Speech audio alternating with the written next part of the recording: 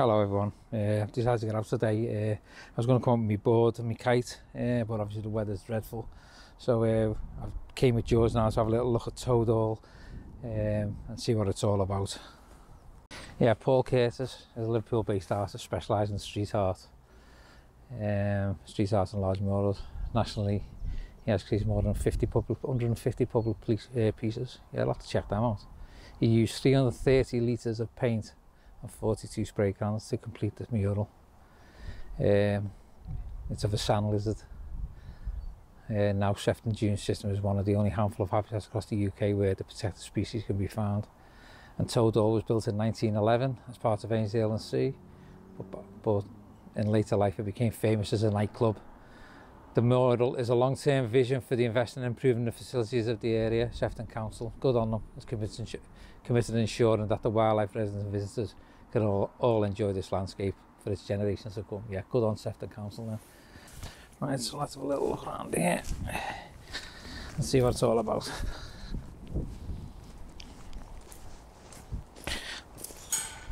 We'll walk through the old trees here.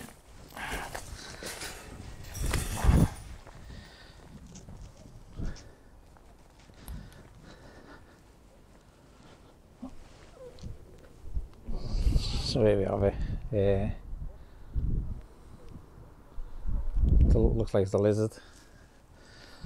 Well, yeah. It's artwork by Paul Curtis. Smart, that.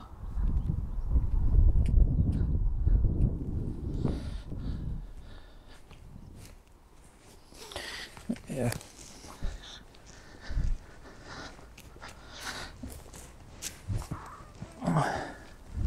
So, yeah. Apparently, this used to be a nightclub. Um, actually, I'm not really a clubby person, so I wouldn't have known.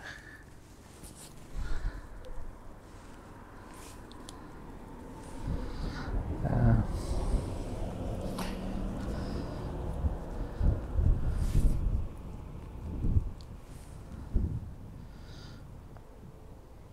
but yeah 360 hours apparently to paint it good on him so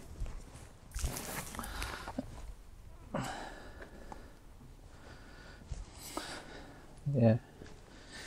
Um, I'm assuming these railings are for all the wind damage. A couple of weeks ago. But yeah that's smart that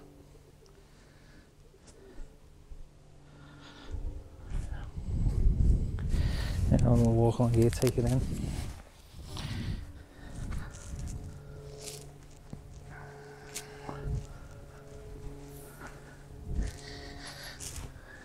You can put the wall in, you can colour the walls.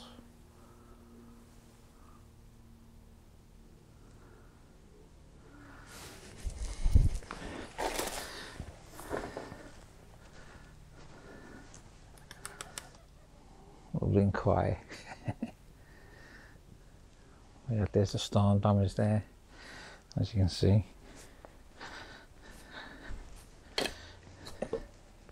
Imagine that landing on your head. But yeah, it's all secure, like, no one can get in. Yeah.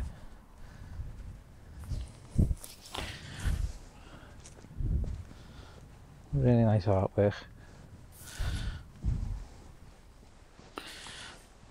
Good on them.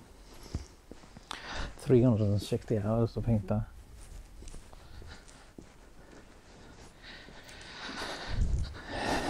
Yeah, I don't know where George has gone. Gone gallivanting on me. Oh.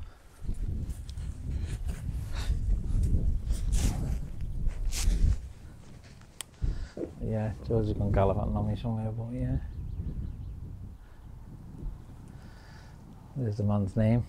Anyone's curious. Yeah, I don't know where George has gone. Yeah. Looks it's proper cool, doesn't it?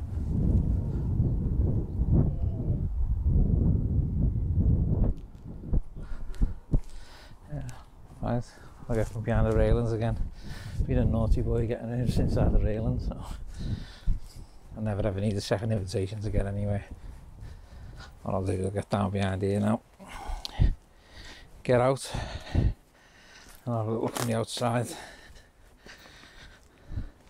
Oh, it's spongy there.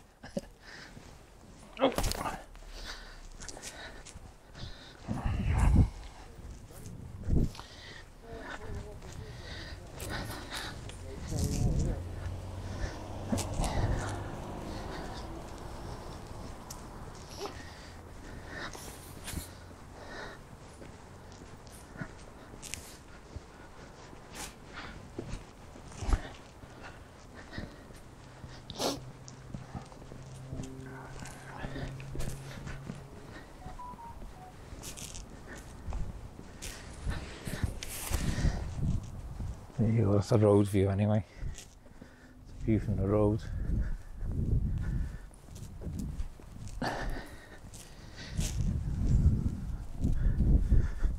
So I pretty much think it's a good thing, obviously. You got abandoned buildings, derelict buildings, run to rack and ruin. At least make them nice to look at. So there's not an eyesore. Well, like I say, something like that. The man puts 360 hours of his time into do it. Say, it's good on him.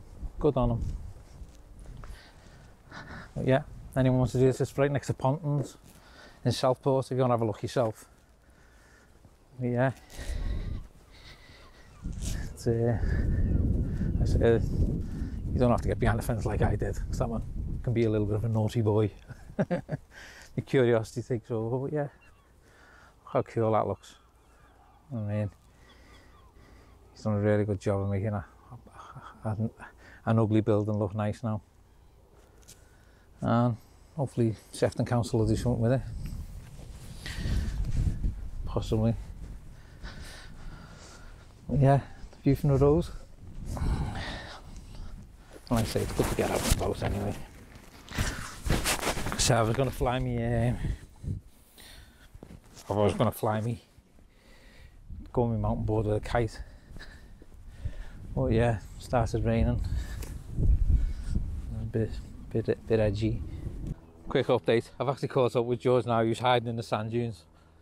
I think he was playing hide and seek, but didn't tell me he was playing. Where's he gone now? Let's find out where's he gone. Oh.